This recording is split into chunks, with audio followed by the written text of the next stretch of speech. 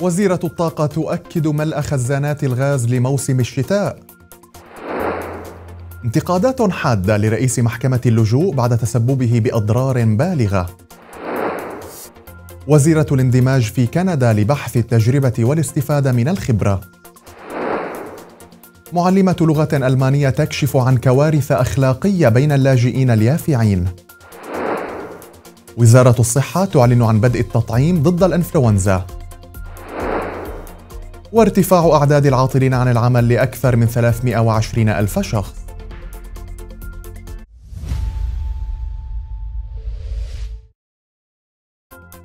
مرحبا بكم مشاهدينا في نشرة الأخبار على النمسا ميديا لهذا اليوم.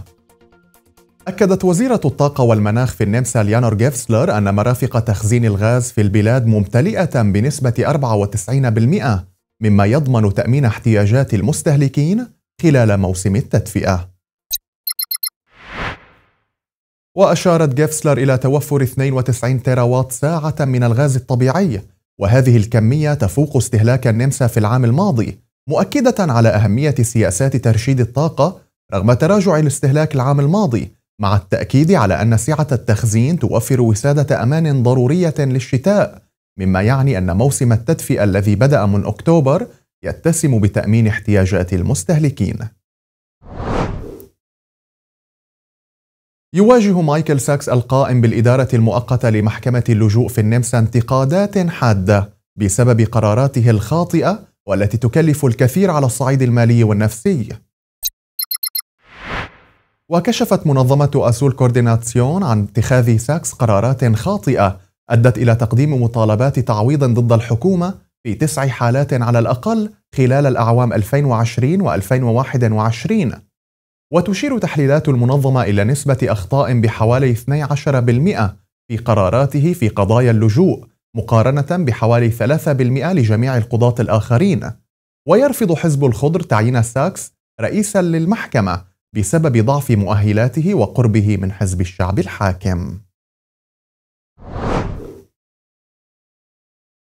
بدأت سوزانا راب وزيرة الاندماج والأسرة في النمسا زيارة رسمية إلى كندا لمدة ثلاثة أيام وذلك لتعزيز سياسات الهجرة وتفعيل عمليات الاندماج.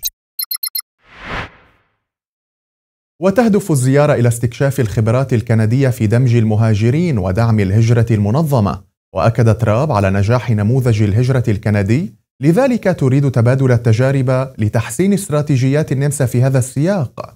وشددت الوزيرة على نجاح كندا في استقبال العمالة المهاجرة منذ الستينيات حيث تم النظر في المهارات اللغوية والمؤهلات المهنية والعمر والعلاقات العائلية والوعود الوظيفية في المجتمع الكندي. كشفت معلمة للغة الألمانية في النمسا السفلى عن التحديات التي تواجهها أثناء تقديم دورات اللغة للاجئين من جنسيات متعددة وبينت المعلمة أن الصراعات العرقية والتحرش الجنسي ورفض الالتزام كأبرز التحديات بسبب النظام الذي وضعه وزير التعليم السابق هانس فاسمان. وفي نفس الوقت لا يوجد رادع, رادع كاف مشيرة إلى أن البنات المحجبات يتغيبن بما يقوم الشبان السوريون والأفغان بالتحرش الجنسي. إضافة إلى أن اللاجئين من أوكرانيا لا يستطيعون التحدث بكلمة ألمانية بعد عام كامل من التعليم. بدأ اليوم برنامج التطعيم ضد الإنفلونزا في النمسا حيث يمكن للأفراد في فيينا الحصول على لقاح الإنفلونزا من الأطباء العامين وفي مراكز الرعاية التابعة للتأمين الصحي. وينظم التطعيم وفقا للخطة النمساوية في نهاية أكتوبر أو بداية نوفمبر ويقدم هذا العام بتكلفة قدرها 7 يورو باستثناء المعفيين من دفع ثمن الدواء وتشجيع وزارة الصحة على تلقي التطعيم خاصة للفئات المعرضة للمخاطر ولمن تزيد أعمارهم عن 60 عاما ومشيرة أيضا إلى أهمية التطعيم المشترك ضد كوفيد 19 والإنفلونزا.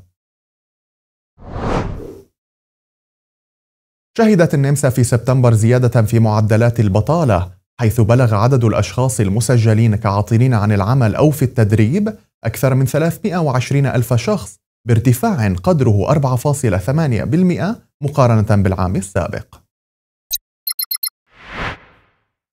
ويظهر هذا الاتجاه السلبي منذ أبريل وعلى الرغم من ذلك يبقى عدد البطالة أقل بثلاثة عشر ألف شخص مقارنة بعام 2019 وأشارت وزارة العمل والاقتصاد إلى أن عدد العاملين وصل لأربعة ملايين شخص في سبتمبر مسجلا زيادة بقدر 35 ألف شخص مقارنة بالعام السابق وزاد معدل البطالة في نهاية سبتمبر 5.9% مما يشير إلى زيادة بنسبة 0.2%.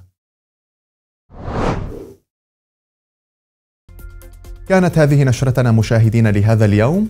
لا تنسوا تحميل تطبيق انفوجرات على هواتفكم. كنت معكم أنا قتيبة اللحام أمسية سعيدة وإلى اللقاء.